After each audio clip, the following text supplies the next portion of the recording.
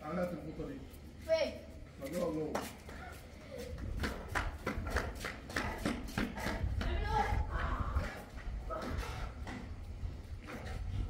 خلاص كده اصطدت فريستك يعني وقاعد عليها